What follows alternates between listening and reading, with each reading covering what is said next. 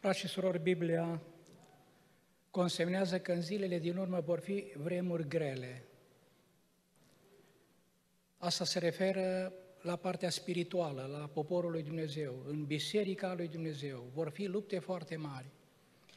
În textul nostru din seara aceasta, aici, Apostolul Petru ne spune, în orod s-au ridicat proroci mincinoși, după cum și între voi vor fi învățători mincinoși care vor strecura pe furii și rezini nimicitoare. Se vor lepăda de stăpânul care i-a răscumpărat și vor face să cadă asupra lor o pierzare năpraznică. M-am gândit de multe ori, învățătorii mincinoși sunt cel puțin tot așa de periculoși ca și prorocii mincinoși. Foarte periculoși. Aici spune că vor strecura pe furiș, vor spune 10 lucruri bune și una falsă. Și uneori sunt așa de deghizați încât foarte greu poți să-i descifrezi, să realizezi. Trebuie o călăuzire neapărat. Dar Biblia nu numai aici consemnează prin Apostolul Petru, ne spune în continuare de bunoară prin, tot, prin Apostolul Pavel, în 2 Timotei ne vorbește cu privire tot la această lucrare.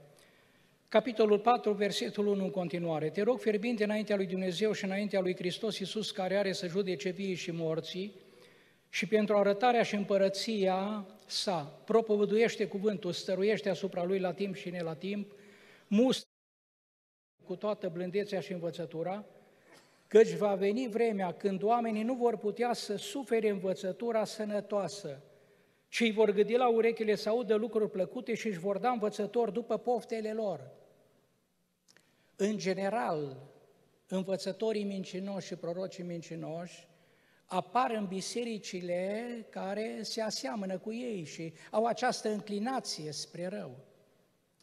Într-o biserică unde există o notă de spiritualitate înaltă, dorită de Domnul și unde e o luptă, acolo vor fi descifrați foarte ușor. Vor fi văzuți, cunoscuți și stopați în ultima instanță. Încă o dată, spune aici versetul 3, va veni vremea când oamenii nu vor putea să sufere învățătura sănătoasă. Într-o biserică locală unde oamenii sunt plictisiți de cuvânt și de lucrarea Domnului, vor dori altceva, lucruri așa, care să impresioneze, bombastice, lucruri care să-i miște din punct de vedere fizic, să-i gâdile. Și își vor da, vor dori să audă lucruri plăcute, își vor da învățători după poftele lor. Tot Apostolul Pavel, în 1 uh, Timotei, în capitolul 4, spune așa, versetul 1, dar Duhul spune lămurit că în vremurile din urmă unii se vor lepăda de credință, ca să se alipiască de duhuri înșelătoare și de învățăturile dracilor. Până acolo vor fi. Biserici locale. Aici e vorba de biserica Domnului în general, vorbește Apostolul Petru. Nu se refere neapărat la o biserică locală. Dar bisericile locale, tot, locale, totalitatea lor formează biserica Domnului, pe care El o are aici pe pământ. Și aici spune încă o dată, abătuți de fățărnicia unor oameni care vorbesc minciuni, însemnați cu ferul roșu însuși cugetul lor. Tot aici ne spune, îi spune lui Timotei, Apostolul Pavel, Spune versetul 15 din capitolul 3, dacă voi zăbovi să știi cum trebuie să te porți, în casa lui Dumnezeu, care este Biserica Dumnezeului celui viu, stâlpul și temelia adevărului. Să știi cum trebuie să te porți. Pavel îi dă tot felul de sfaturi lui Timotei și îl învață. Trage semnale de alarmă. Dar Apostolul Pavel, uitați ce spune de bunoară în fapte, în capitolul 20. Ne spune aici, versetul 28, luați seama dar la voi înși vă și la toată turma peste care v-a pus Duhul Sfânt Episcopi, ca să păstoriți biserica Domnului, pe care a câștigat-o cu însuși sângele său. Știu bine că după plecarea mea se vor vârâ între voi lupi răpitori care nu vor cruța turma. Tot la ei se referă. Lup răpitorii numește aici. În altă parte spune îmbrăcați în pei de oi. Ei pe din afară așa vin încât, sigur, dau impresia că totul e în ordine și că ei sunt slujitori ai celui prea înalt. Zice aici în continuare, se vor scula din mijlocul vostru oameni care vor învăța lucruri stricăcioase, învățători, care vor învăța lucruri stricăcioase, ca să atragă pe ucenici de partea lor.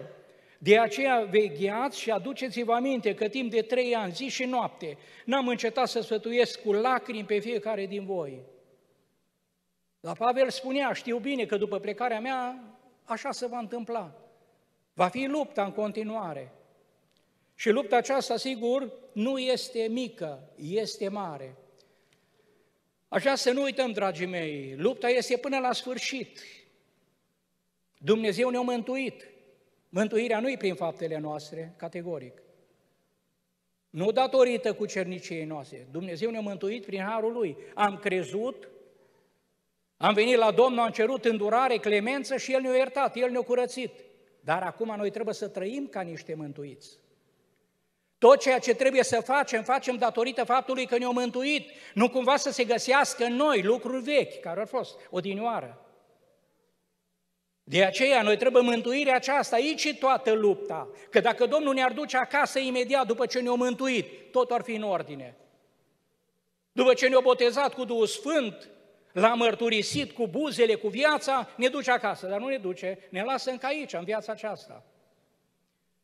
Și în viața aceasta există această, acest segment, fiecare cât are de trăit, e o luptă foarte mare. Păi Pavel spune, Pavel care a ajuns în al treilea cer, prin Pavel spune că șorțuri basmale duse la distanță, puse pe trupurile bolnavilor și erau vindecați. Și Pavel spune, fraților, eu nu cred că l-am apucat încă. Fac un singur lucru, uit ce este în urma mea și mă arunc spre ce este înainte. Caut să-l apuc, întrucât și eu am fost apucat de Hristos.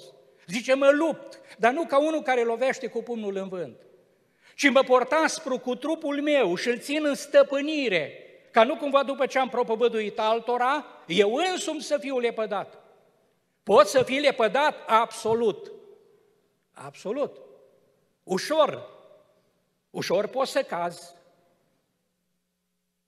de aceea e foarte important ce spune Apostolul Pavel, tot el vorbește, și uitați ce spune în Cartea Filipenilor de bună oară, în capitolul 2, versetul 12. Spune aici, printre altele, în felul următor. Astfel, dar preiubiților, după cum totdeauna ați fost ascultători, duceți până la capăt mântuirea voastră, când e capătul, când vine Domnul, dacă vom fi în viață. Iar dacă nu, atunci când mă cheamă Domnul în veșnicie, duceți până la capăt, până în ultimă clipă, să dă bătălia. Pentru cel bolnav care a fost ascultător și a trăit acolo pe patul de suferință și acolo vine vrăjmașul, la gândurile lui, la, la cugetul lui și încearcă, dar dacă poate să-l deturneze, să nu mai creadă. De aceea noi ne rugăm pentru cei bolnavi, nu neapărat să fie vindecați, că unii știm că nu vor fi vindecați, că e planul Domnului să-i ducă. Nu vom trăi veșnic aici? Aici suntem trecători, suntem călători. Dar în mod special ce are valoare înaintea lui Dumnezeu este sufletul, este omul spiritual. Și de aceea în dreptul bolnavilor ne rugăm și pentru acest lucru îl avem în vedere, ca Dumnezeu să-i țină în credință până în ultimă clipă, să-i întărească, să nu cadă în deznădejde, în disperare. Astfel, dar preiubiților, după cum totdeauna ați fost ascultători, duceți până la capăt mântuirea voastră, cu frică și cu tremur, nu numai când sunt eu de față, ci cu mult mai mult acum în lipsa mea până la capăt. În 2 Corinteni, în capitolul 7, versetul 1, aici Apostolul Pavel din nou spune ceva. Deci fiindcă avem astfel de făgăduințe, promisiuni nemaipomenite, zice aici, preiubiților, să ne curățim de orice întinăciune a cărnii și a Duhului și să ne ducem sfințirea până la capăt cu frică de Dumnezeu. Până la capăt sfințirea, mântuirea, neprienirea, M-a mântuit, Domnul m-a curățit, nu datorită mie, dar acum după ce m-a curățit, eu trebuie să trăiesc ca un mântuit. Eu trebuie să fac faptele unui mântuit în continuare. Nu în continuare să trăiesc cum trăiesc cei din afară. E adevărat, pe cei din afară, dragii mei, când vine unul care nu-L cunoaște pe Domnul, foarte ușor, Domnul îl iartă. Cere îndurare, îl crede pe Domnul și Domnul este gata să-l ierte. Dar după ce l-a iertat, el are un alt statut. Are statutul de copil al lui Dumnezeu. El trebuie să trăiască ca un copil al lui Dumnezeu. Păi nu înseamnă că el se poate tăvăli în continuare în mocirlă și în păcat, în minciuni și în tot felul de stări, că Domnul iară iartă. Asta e minciună, asta e erezie. Tot felul de învățători care vor strecura pe furiș erezii nimicitoare, una din erezii. Poți să faci orice, dacă te-o mântui Domnul, că vei fi mântuit. Minciună! Păi de aia spune că tot Noul Testament, asta scoate în evidență, lupta credinciosului până la capăt. Avem de luptat. Firea pământească, că Domnul o lasă, ea este în noi, ea trebuie să fie răstignită, dar imediat cum îi acceptăm ceva, ea își arată colții. Și ea încearcă să se exteriorizeze. E o luptă între fire, între omul vechi și omul nou, tot timpul. De aceea în fiecare zi trebuie să ne rugăm. În fiecare zi trebuie să venim înaintea lui Dumnezeu cu, în, cu cereri de a ne ajuta. Domnul ne ajută, funcție de cum ne rugăm. Și cum venim și cum îl recunoaștem. Auziți ce spune în Cartea Evreilor, autorul epistolei către evrei. În această direcție. De aceea, cu atât mai mult trebuie, trebuie, e un imperativ, nu se poate altceva, altfel. Cine vrea mântuirea, vrei mântuirea, nu se poate altfel. Trebuie să ne ținem de lucrurile pe care le-am auzit, ca să nu fim depărtați de ele. Poți fi îndepărtat? Da. Zice, căci dacă cuvântul vestit prin înger s-a dovedit nezguduit și dacă orice abatere și orice neascultare și-a primit o dreaptă răsplătire, cum vom scăpa noi dacă stăm nepăsători față de o mântuire așa de mare, care după ce a fost vestită întâi de Domnul ne-a fost adeverită de ce ce a auzit-o? În timp ce Dumnezeu întărea mărturia lor cu semne puteri, felurite minuni și cu darurile Duhului Sfânt împărțite după voia sa. Cum vom scăpa noi? Nu scăpăm. Și noi avem același statut, să știți. Pentru toți există un standard pe care Dumnezeu ni-l cere, ni-l pretinde. În uh, Evrei, în capitolul 10, autorul epistolei către evrei ne continuă și ne spune aici, de la versetul 26, dar citim de la 24, să veghem unii asupra altora, să ne îndemnăm la dragoste și la fapte bune, să nu părăsim adunarea noastră cum a unii obicei, ci să ne îndemnăm unii pe alții, cu atât mai mult cu cât vedeți că ziua se apropie. Căci dacă păcătuim cu voia, rețineți ideea, cu voia, după ce am primit cunoștința adevărului, nu mai rămâne nicio jertfă pentru păcate, ci doar o așteptare înfricoșată a judecății și văpaia unui foc care va mistui pe cei răzvrătiți. Extraordinar! Cine poate păcătui cu voia? Cel din afară, cel din interior, care știe, a fost curățit. De aia cel din afară, orice a făcut, dacă vine și cere îndurare, e iertat, cu condiția în continuare să rămână credincios. Să trăiască ca și copil al lui Dumnezeu. Ce frumos ne spune tot autorul epistolei către evrei, în capitolul 3, ne spune aici versetul 6. Dar Hristos este credincios ca fiu peste casa lui Dumnezeu și casa lui suntem noi, dacă păstrăm, zice, până la sfârșit, încrederea nezguduită și nădejdea cu care ne lăudăm. Zice aici versetul 14, că ne-am făcut părtașa lui Hristos dacă păstrăm până la sfârșit încrederea nezguduită de la început, până la capăt. Capătul e atunci când Dumnezeu ne cheamă acasă. Deci am vrea să nu uităm, dragii mei, cuvântul lui Dumnezeu din seara aceasta ne atenționează în biserici. În general, când e o biserică locală doritoare să-L slujească, Iubește cuvântul, iubește rugăciunea, iubește lucrarea Duhului Sfânt. Acolo să știți că mai greu pătrund astfel de învățători și de proroși mincinoși. Și în momentul în care au intrat, foarte ușor este depistat. Și poate fi eliminat, absolut. Și ce spune în Cartea Genesei? L-a pus pe om în grădină să lucreze și să păzească grădina. Domnul ne-a chemat, zice, du-te fiule de lucrează azi în via mea, în via mea. Astăzi, nu mâine, du-te de lucrează. Aia înseamnă să o și păzești. Noi trebuie să și păzim. Ceea ce ni s-o încredințat, iar dincolo de noi păzește Domnul.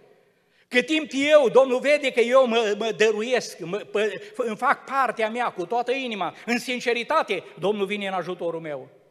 Și El nu mă lasă, El este Cel ce mă întărește. De aceea doresc pentru Biserica Betel Dumnezeu să o întărească. Biblia ne spune că în ajutorul nostru pentru aceasta Dumnezeu ne-a dat Duhul Lui. Spune aici foarte frumos, era menționat în seara aceasta și vreau să reamintesc. Spune în cartea lui Nemia, la un moment dat, cuvântul foarte frumos în capitolul 9. Le-ai dat Duhul tău cel bun ca să-i facă înțelepți. Ne-a dat Duhul Sfânt, ne-a botezat cu Duhul Sfânt. Biblia spune că Duhul Sfânt Domnul dă la cel ce crede, cei ce cred. Dar apoi Biblia continuă și spune, Domnul dă Duhul Sfânt la cei ce ascultă, o a doua condiție, trebuie să asculți. Cred, dar trebuie să și ascult. Dar o a treia condiție la fel de importantă, Domnul dă Duhul Sfânt celor ce îl cer. Că dacă eu cred, eu încerc să ascult, dar nu-l cer, fiți liniștiți că nu vine Domnul să mi-l dea. Eu trebuie să-l cer, păi asta este. Păi dacă ori cerut primii apostoli, apostolilor cerut. Mama Domnului și familia sfântă, aliasă de cel preanalt, în centrul istoriei omenirii, familia aceasta aliasă. Și ei ori stăruit 10 zile, ori stăruit, ori rugat și l-or cerut. Sigur că Dumnezeu rămâne credincios și îl dă. Noi mulțumim că Domnul ne-a botezat cu Duhul Sfânt. Dar poate să rămână doar o amintire că ne-a botezat cândva. Să știți că botezul cu Duhul Sfânt nu e un apogeu. Nu e un punct culminant. Punctul culminant, botezul cu Duhul Sfânt. E doar un început pe cale. E un început botezul cu Duhul Sfânt. Apostolul ar primi la început și apoi noi vedem creșterea. Uitați ce spune aici foarte frumos, în mai multe locuri, cuvântul lui Dumnezeu în această idee. Biblia ne vorbește în cartea Efesenilor în felul următor. Zice aici Apostolul Pavel, versetul scrie la Efes, Efesenilor, le spune versetul 13, voi după ce ați auzit cuvântul adevărului, Evanghelia mântuirii voastre, ați crezut în el și ați fost pecetruiți cu Duhul Sfânt care fusese făgăduit. Știți cum au fost 12 bărbați la Efes, au ajuns Pavel acolo și au întrebat, ați primit Duhul Sfânt când ați crezut? Nu. Pavel și-a pus mâinile pe ei, avea și darul acesta. S-a rugat cu ei, le-a explicat categoric și ei au fost botezați, zice, erau cam 12 bărbați. Au început să vorbească în alte limbi și proroceau. Stâlpii bisericii din Efes. Pavel a stat mult timp în Efes și s-a format, s-a întemeiat o biserică. Și acum Pavel le trimite o epistolă, le scrie această epistolă. Auziți ce frumos în continuare. Le aduce aminte în versetul 13 cum au primit Duhul Sfânt, dar nu zice opriți-vă aici, e tot în ordine. Fiți liniștiți că sunteți pe calea cea bună. Le zice în continuare, zice, care este o arvună a moștenirii noastre pentru răscumpărarea celor câștigați de Dumnezeu spre lauda slavei Lui. De aceea și eu, de când am auzit de credința în Domnul Isus care este în voi și despre dragostea voastră pentru toți sfinții, nu încetez să aduc pe de o parte mulțumiri pentru voi când vă pomenesc în rugăciunile mele, iar pe de altă parte mă rog ca Dumnezeu Domnului nostru Isus Hristos, Tatăl Slavei, să vă dea un duh de înțelepciune, de descoperire în cunoașterea Lui, să vă lumineze ochii inimii, să pricepeți care este nădejdea chemării Lui și care este bogăția slavei moștenirii Lui în sfinți și care este față de noi credincioșii, nemărginita mărimea puterii sale după lucrarea puterii tăriei Lui. Ce bogăție are Domnul pentru noi, dar noi ne oprim la cele începătoare, doar atât, prima treaptă. E important, absolut, că nu pot să o, pun, să o am pe a doua, pe a treia, dacă n-am pășit pe prima. Știți ce spune Biblia în Cartea Colosenilor? Zice aici foarte frumos, merită să citim. Coloseni, capitolul 2, ne spune așa, vreau să în adevăr să știți cât de mare luptă duc pentru voi, pentru cei din Laodicea, pentru toți cei ce nu mi-au văzut fața în trup, pentru că li se, să li se îmbărbăteze inimile, să fie uniți în dragoste, să capete toate bogățiile plinătății de pricepere, să cunoască taina lui Dumnezeu Tatăl, adică pe Hristos, în care sunt ascunse toate comorile înțelepciunii și ale științei. Cât cunoaștem noi? Cât avem? Pavel spune, citindu-le epistolele, vă puteți închipui priceperea pe care o am eu despre taina lui Hristos și adâncime. În el locuiește, trupește toată plinătatea Dumnezeirii. Voi aveți totul de plin în el, dar îl avem aici. Unde îl avem pe el? Aici, în cartea aceasta, în cuvântul lui. În cuvântul lui avem toate aceste descoperiri, lumina lui, cum să, cum să acționăm în fiecare zi ca să fim plăcuți. Frați și sorori, eu îmi zic de multe ori, viața de pocăință nu e o casnă, nu e ceva forțat, nu e ceva, nu mai pot, tot transpir, dar de unde? E ceva normal, o frumusețe în fiecare zi. Să ai pace, să ai liniște, cu bucurie să-L slujești pe Dumnezeu. Păi nu înseamnă că ești scutit de încercări. Nu e scutit, vin încercările. Dar în încercări împlinești, Doamne, adus aminte, sunt în necaz. Și tu ai trecut prin necaz, nu uit, de aia am aici. Și mari oameni al lui Dumnezeu au fost încercați. Au fost probați, dar în încercare cheamă în ziua necazului tău, tu, eu te voi izbăvi, iar tu mă vei binecuvânta, proslăvi. Îl proslăvim. Foarte important acest lucru. De să nu uităm, dar nu numai la Efeseni le spune, uitați și la Coloseni. La Coloseni, uitați ce spune aici, versetul 4, citim și 3, capitolul 1. Mulțumim lui Dumnezeu Tatăl nostru și Domnului nostru Iisus Hristos că ne rugăm neîncetat pentru voi. Am auzit despre credința voastră în Hristos Iisus, dragostea voastră pe care o aveți pentru toți fiții și așa mai departe.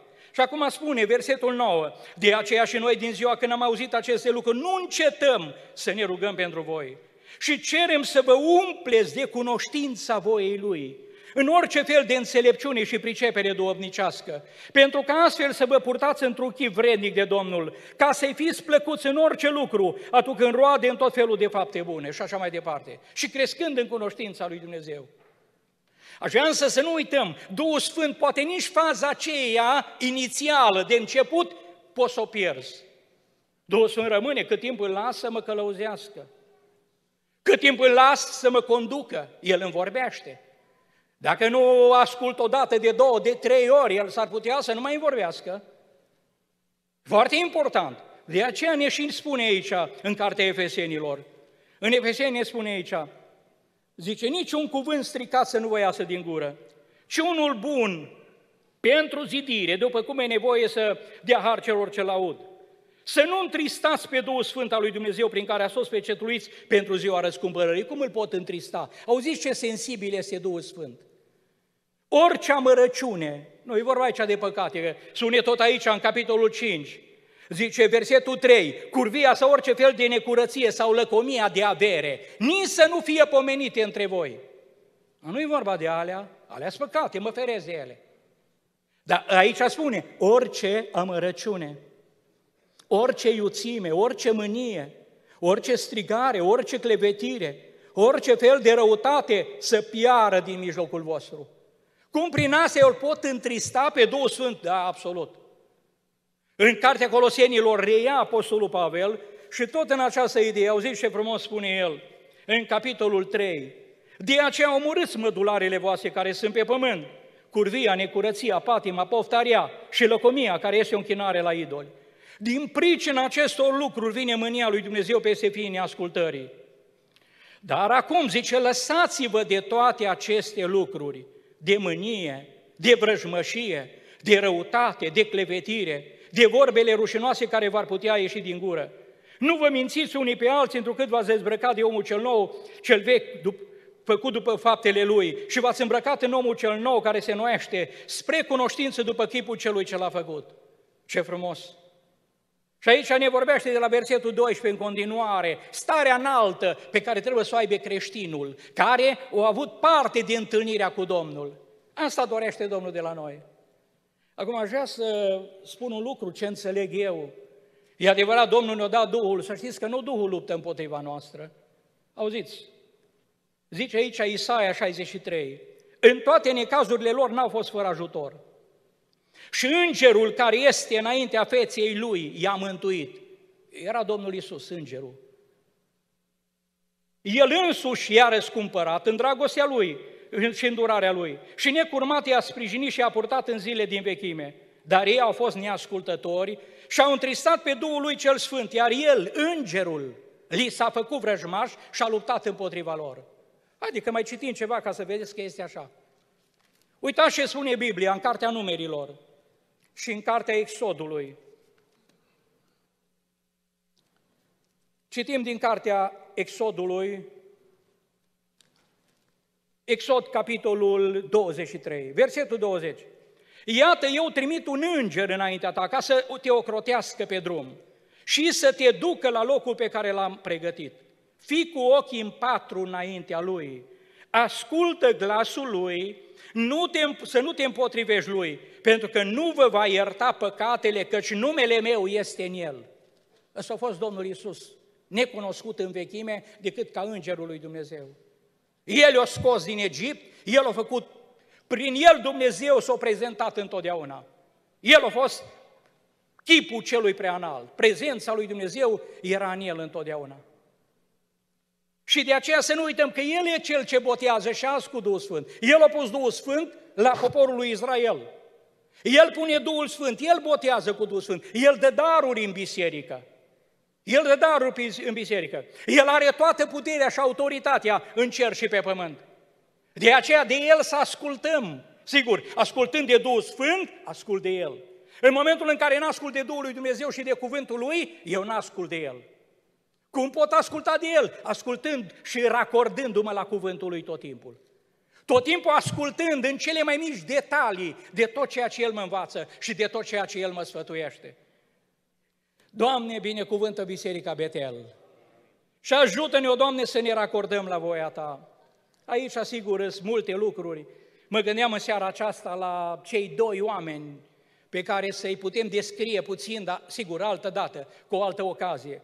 Zice, căci dacă n-a cruțat Dumnezeu pe îngerii care au păcătuit ce a aruncat în adânc, unde stau, zice, înconjurați de întuneric, legați cu lanțuri și păstrați pentru judecată. O parte din îngerii care au căzut sunt legați. O parte sunt liberi împreună cu diavolul. Noi nici nu ne imaginăm numărul lor.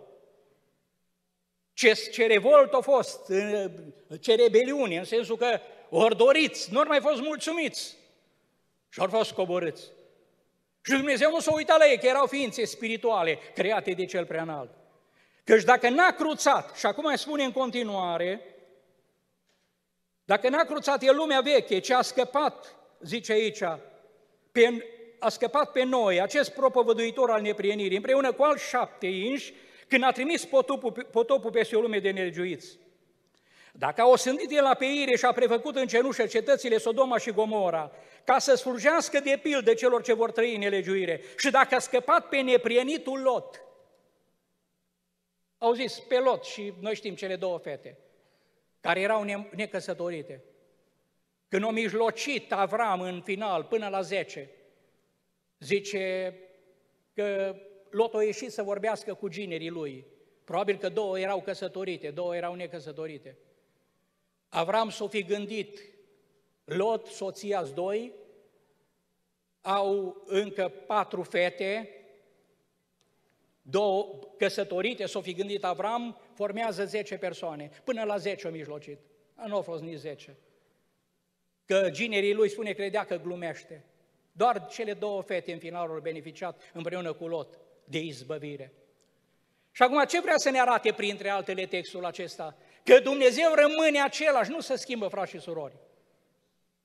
El acolo unde există neprienire și dorința după bine, Domnul este gata să dea izbăvire și dă izbăvire. El ajută, El sprijinește. Dar acolo unde nu vede o viață curată și există duplicitate, unde există, sigur, o viață de biserică care se vede și o altă viață în afara sferei bisericii, în afară, pe stradă, la, în mașină, la servici, acasă. Domnul vrea să fim aceiași. El vrea să trăim, să fim mai Lui întru totul. Zice în continuare aici, înseamnă că Domnul știe să izbăvească din încercare pe oamenii cucernici, să păstreze pe cei nelejuiți și să fie pedepsiți în ziua judecății. Mai ales pe cei ce în pofta lor necurată umblă poftind trupul altuia, zice, disprețuiesc stăpânirea, ca niște îndrăznești și încăpățânați ce sunt, ei nu se tem să bajocorească dregătoriile, pe când îngerii care sunt mai presus în tărie și putere n-aduc înaintea Domnului nicio judecată batjocoritoare.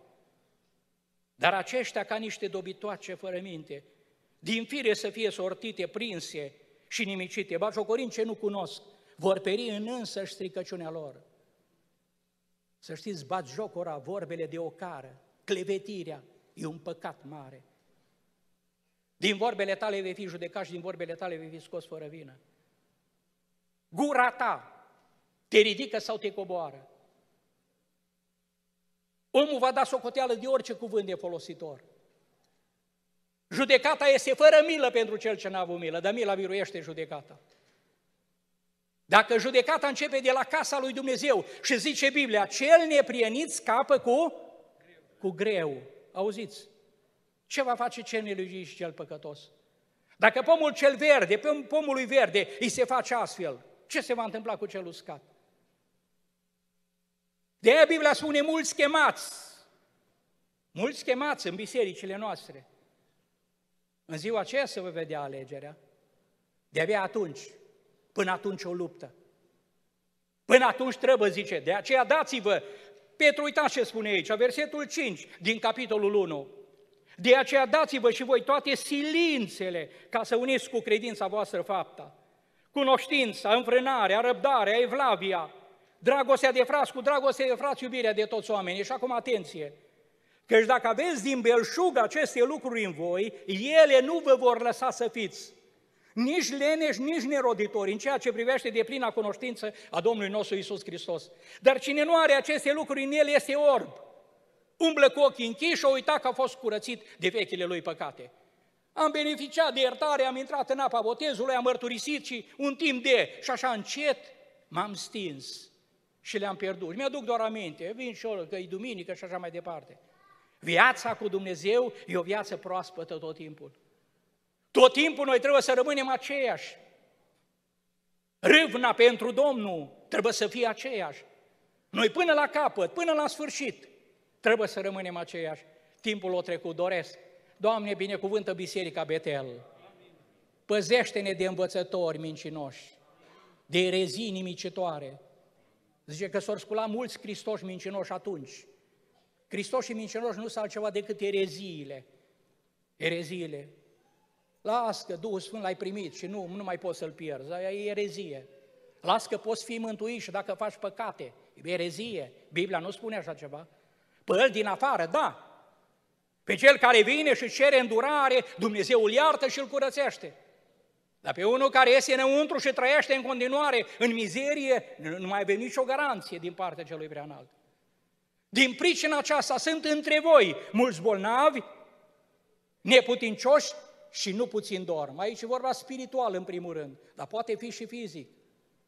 Mulți neputincioși, slăbănoși spiritual, fără putere, nu se pot împotrivi. Că o lași azi, mâine, poi mâine și la un moment dat nu, nu mai există putere, s-o stors, s-o scurs. Tot timpul trebuie să rămânem la sursă. Sursa este Domnul Isus Hristos. Sursa e cuvântul. Sursa e biserica. Sursa înseamnă tot timpul împărtășie, viață de dependență. Ieri am depins de Domnul, dar și astăzi, mâine la fel. Și tot timpul, nicio clipă fără El. Dumnezeu să ne ajute. Doamne, vrem în ziua aceea, noi și cei dragi ai noștri, să ne întâlnim în împărăția Ta. Dar ajută-ne până atunci să trăim și să fim mai Tăi. Amin.